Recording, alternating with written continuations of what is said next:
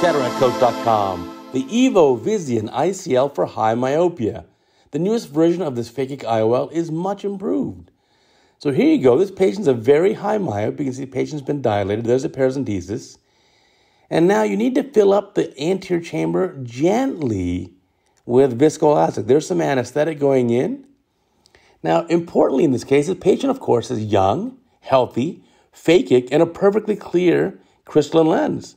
So we're going to put in some viscoelastic. It's a dispersive agent. Most of the times is HPMC, hydroxypropyl methylcellulose, and get a good fill in the anterior chamber, not overly filled, a kind of a loose fill there. Now, the key in this surgery is you want to gently insert the ICL, which is relatively straightforward. But you want to be careful and not touch the human crystalline lens, lest you induce a cataract. Now, in the old version of the ICL, you had to do a peripheral iridotomy just for safety measure. In this new one, the Visian Evo ICL, you'll notice as the lens is inserted, there's a central aperture in the middle of the IOL, right in the absolute center, which allows flow of aqueous from the posterior chamber to the anterior chamber. There's the incision. Usually these incisions are about 2.75. And then the ICL is a very thin phakic IOL. It's rolled up already in the injector. The surgeon does that. Now a little more viscoelastic going inside the eye. And then you're just going to insert this. And so it's a very, a very quick and easy procedure here. And as you insert the lens, now the lens has four um, corners that need to be tucked under the iris. So here it comes, getting this in the eye nice and gently. Now, when I was doing this procedure many years ago, and you can search for YouTube for those old videos, I was using the older version. We can do a maneuver where we can get the leading two haptics and maybe even foot plates three and four, all with just the injector. But in this case, you can see it's just being placed inside the anterior chamber and you've got one of those, or perhaps two of them, in correct position, and the other two, they're relatively easy to put where you need to. So you want to tuck all four corners behind the iris. So here's just a manipulator. And you can use that manipulator to gently just push that lens into position. It's a very thin, very flexible lens. Now, in the US, most commonly, these are used for highly myopic patients who are usually not good candidates for LASIK.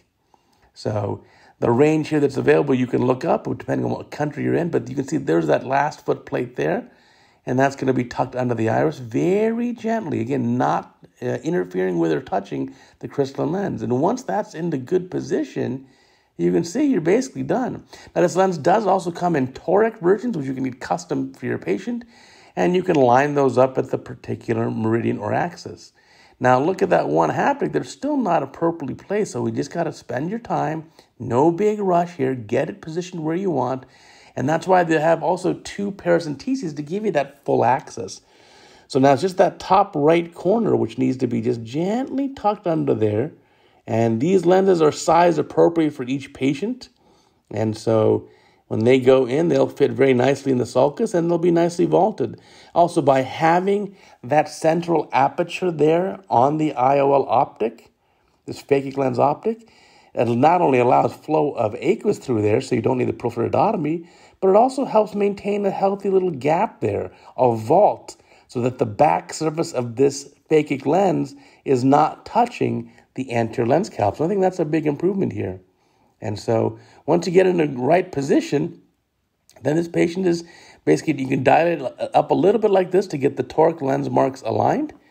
And then you just basically, I like to also bring down the pupil a little bit with a constrictive agent like Miochol, and then you need to flush out the viscoelastic.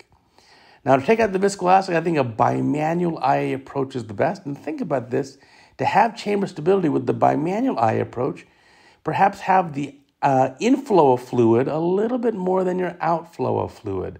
Now, those keep a sufficient amount of infusion pressure so they keep the AC nicely filled at all times. These incisions, of course, are self sealing. We'll just hydrate them up and they'll seal up nicely.